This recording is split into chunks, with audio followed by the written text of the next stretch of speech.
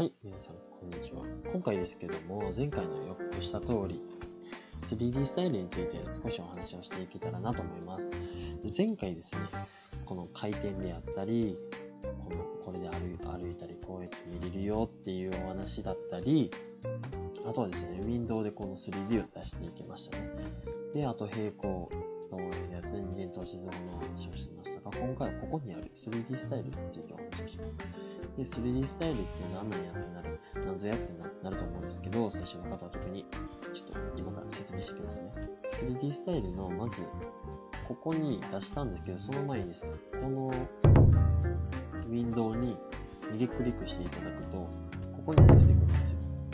ここでも選択できるんですけど、ツールバーに出したので、前回、ここを使っていきたいと思います。で、パッと見た感じ、何やら VE と OG で分かれてるみたいですね。で、VE と OG 何なんややったらですね、VE っていうのは何やらベクトルエンジンの略らしくて、少し重たくてですね、で、ハッチありっていうのがありまして、ハッチって何なんやってなりますと、まず V ベーシックってどういうのか出してみます。こんな感じです。今さっきの OG ベーシックの方だったんですけど、VE ベーシックはこんな感じ少し重たいので移動するときにこんな感じでワイヤーフレームになっちゃいます。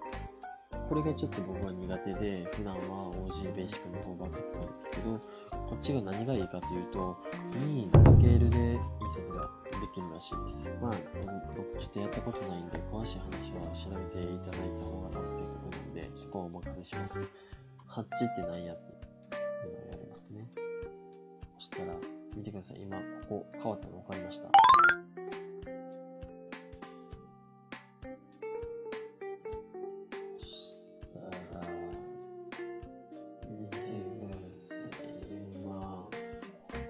テイストがすごく変わったんです。これと、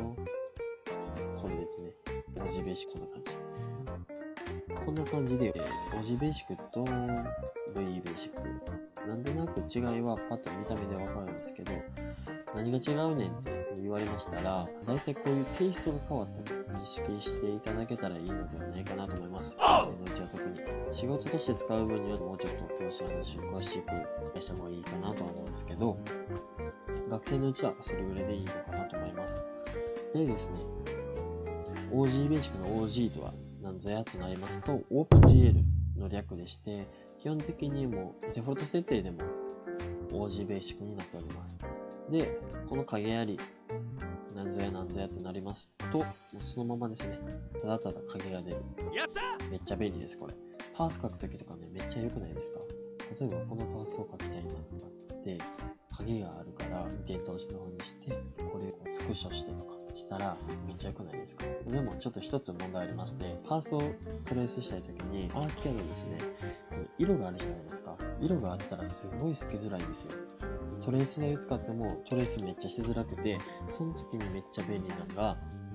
ホワイトモデルです。影ありのホワイトモデルを選択していただくと、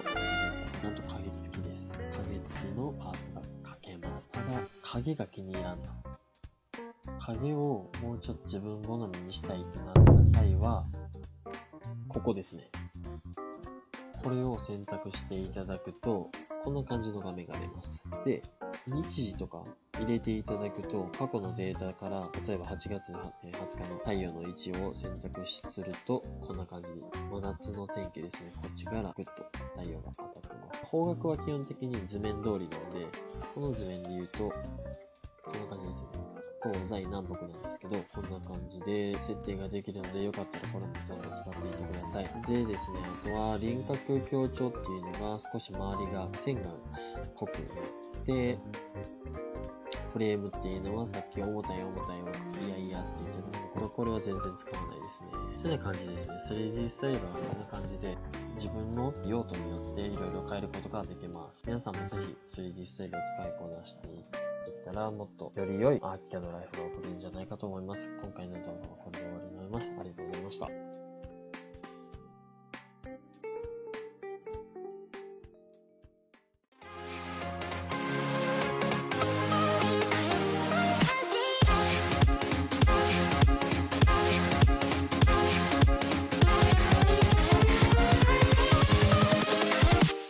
possible.